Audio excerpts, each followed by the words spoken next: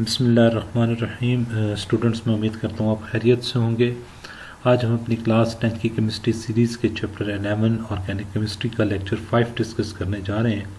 और आज के इस लेक्चर में हमारा जो टॉपिक ऑफ़ डिस्कशन है, वो है characteristic properties of organic compounds यानी ऑर्गेनिक कंपाउंड की प्रॉपर्टीज़ खसूसियात को हमने इस आज के लेक्चर में डिस्कस करना है। स्टूडेंट्स कैसे ऑर्गेनिक कंपाउंड्स की प्रॉपर्टीज़ इनऑर्गेनिक कंपाउंड से डिफ़र करती हैं, ये दस पॉइंट्स की फॉर्म में हम आज के इस टॉपिक में डिस्कस करेंगे। और सबसे पहला हमारा जो पॉइंट ऑफ़ डिफरेंस है, ये जो पहला प्रॉपर्टीज़ में important characteristic properties of organic compound है, उसमें हम पढ़ेंगे जी ओरिजिन ओरिजिन कहते हैं कहाँ से अखज़ होते हैं, कहाँ से ये कम ऑर्गेनिक कंपाउंड्स मिलते हैं। तो स्टूडेंट्स हमने पढ़ा है कि organic compounds generally living organism से हमें मिलते हैं, यानी एनिमल्स और प्लांट्स से मिलते हैं, या फिर हमें फॉसिल से मिलते हैं, यानी वो लिविंग ऑर्गेनिजम्स जो पहले कभी किसी ज़माने में लिविंग रहे हों। तो ऑर्गेनिक कंपाउंड्स का जो सोर्स है, वो लिविंग ऑर्गेनिज्म है, या वो लिविंग ऑर्गेनिज्म जो पहले कभी किसी ज़माने में लिविंग रहे हों, जिन्हें हम फॉसिल्स कहते हैं यूजली वो होते हैं। जबकि इनऑर्गेनिक कंपाउंड्स जो हैं वो हमारे पास मिनरल्स और रॉक्स से हमें मिलते हैं। दूसरा है कंपोजिशन कंपोजिशन का मतलब होता है बनावट। ऑर्गेनिक कंपाउंड्स जो हैं, ये carbon hydrogen oxygen nitrogen halogen और सल्फ़र यूजली मतलब आम तौर पे ज़्यादातर ऑर्गेनिक कंपाउंड्स में यही एलिमेंट्स पाए जाते हैं। बाकी में, बाकी भी होंगे, लेकिन वो बहुत कम मकदार में या बहुत कम ऐसे ऑर्गेनिक कंपाउंड्स हैं जिनमें इन एटम्स के अलावा हम कोई और एटम यूज़ कर रहे होते हैं। तो ऑर्गेनिक कंपाउंड्स जो हैं, वो यूजली आम तौर पर जो उनकी बनावट है, वो ये है कि वो carbon hydrogen oxygen nitrogen halogen और सल्फ़र एटम से मिलकर बने होते हैं। जबकि इनऑर्गेनिक कंपाउंड्स होते हैं, वो पीरियोडिक टेबल में मौजूद तमाम एलिमेंट्स से मिलकर बने होते हैं। नेक्स्ट है कोवैलेंट लिंकेज या nature of the bond organic compounds में कोवैलेंट बॉन्ड होता है। और वो कोवैलेंट बॉन्ड पोलर भी हो सकता है और नॉन पोलर भी हो सकता है। लेकिन जो इनऑर्गेनिक कंपाउंड्स हैं, उनमें प्योरली आयनिक बॉन्ड्स मौजूद होते हैं। नेक्स्ट सॉलिबिलिटी स्टूडेंट सॉलिबिलिटी का एक जनरल कॉन्सेप्ट है लाइक डिजॉल्व लाइक यानी जो पोलर सब्सटेंसेस हैं, वो पोलर सॉल्वेंट में हल होंगी और जो नॉन पोलर सब्सटेंसेस हैं, वो नॉन पोलर में। या हम यूँ कहेंगे organic organic compounds organic solvent में हल होंगे और जो इनऑर्गेनिक सॉल्वेंट्स हैं सॉरी जो इनऑर्गेनिक कंपाउंड्स हैं, वो पोलर सॉल्वेंट यानी वाटर या नॉन ऑर्गेनिक सॉल्वेंट्स में डिजॉल्व होंगे। तो जो ऑर्गेनिक कंपाउंड्स हैं, ये अल्कोहल बेंजीन इनमें डिजॉल्व होते हैं, जबकि इनऑर्गेनिक कंपाउंड्स होते हैं, वो पोलर सॉल्वेंट्स लाइक वाटर में डिजॉल्व होते हैं।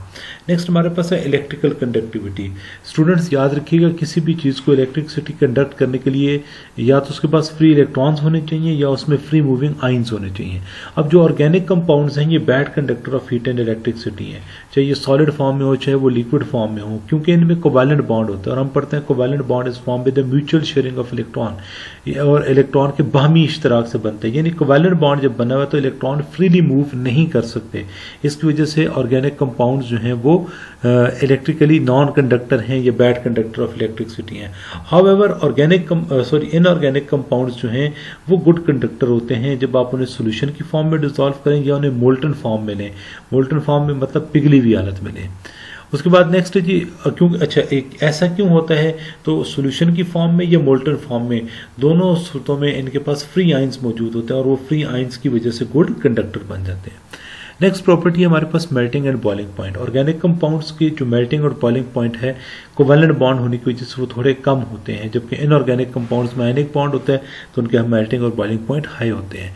नेक्स्ट स्टेबिलिटी जब ऑर्गेनिक कंपाउंड्स के मेल्टिंग और बॉइलिंग पॉइंट कम है तो इनकी स्टेबिलिटी भी कम होगी. They are less stable than inorganic compound ये वजह है कि ऑर्गेनिक कंपाउंड्स जो वो वोलाटाइल इन नेचर होते हैं. यानी ये इजिली वेपर्स में कन्वर्ट हो जाते हैं. नेक्स्ट नेक्स्ट है कंबस्टेबिलिटी ऑर्गेनिक कंपाउंड्स में चूँकि हाई परसेंटेज ऑफ़ कार्बन होती है और जब हम इन्हें ऑक्सीजन की फ्री सप्लाई में हीट करते हैं अगर हम इन्हें ऑक्सीजन की फ्री सप्लाई में लेके आए तो ये बर्निंग प्रोसेस को हेल्प आउट करते हैं, जबकि इनऑर्गेनिक कंपाउंड ऐसा नहीं करते। इसके अलावा जी आइसोमेरिज्म वो फिनोमिना है जो ऑर्गेनिक कंपाउंड्स में बहुत अबंडेंट है। यानी ऑर्गेनिक कंपाउंड्स आइसोमेरिज्म को फिनोमिना शो करते हैं, जबकि इनऑर्गेनिक कंपाउंड्स जो हैं, उनमें आइसोमेरिज्म रेयर है, बहुत कम नज़र आता है। Next rate of reaction organic compounds जो हैं, इनका रेट ऑफ़ रिएक्शन स्लो होता है। रेट ऑफ़ रिएक्शन स्लो होने का मतलब यह है कि इनके रिएक्शन की जो स्पीड है वो स्लो होती है और ऐसा इसलिए होता है कि इनके रिएक्शन मालिक्यूलर इन नेचर होते हैं, यानी पूरा का पूरा मालिक्यूल रिएक्शन में हिस्सा लेता है और उनको specific condition of temperature and pressure चाहिए होती है। इसके बरस जो इनऑर्गेनिक कंपाउंड्स होते हैं, उनके रेट ऑफ़ रिएक्शन फास्ट होते हैं, क्योंकि वो आइनिक कंपाउंड्स होते हैं और वो जब आइंस में सेपरेट हो गए तो आपके पास रिएक्शन प्रोसीड कर जाता है।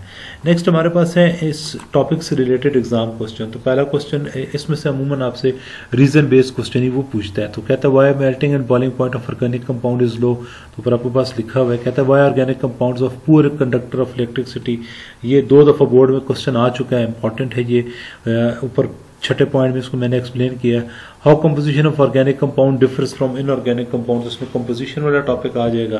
कहता है why kerosene oil is soluble is not soluble with water तो कैरोसिन कैरोसिन ऑयल जो है मट्टी का तेल, ये एक ऑर्गेनिक कंपाउंड है, जबकि वाटर जो है वो पोलर सॉल्वेंट है। तो इसलिए इनके दरमियान फोर्सेज ऑफ़ अट्रैक्शन डेवलप नहीं होती और ये आपके पास कैरोसिन ऑयल जो है उसमें डिजॉल्व नहीं होता।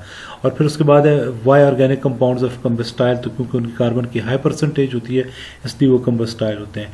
लॉन्ग क्वेश्चन में ये आपसे पूरा का पूरा टॉपिक आपको ऑप्शन आपको कहता है कि जी what are the general properties of organic compound तो ये सारी लिख के दें।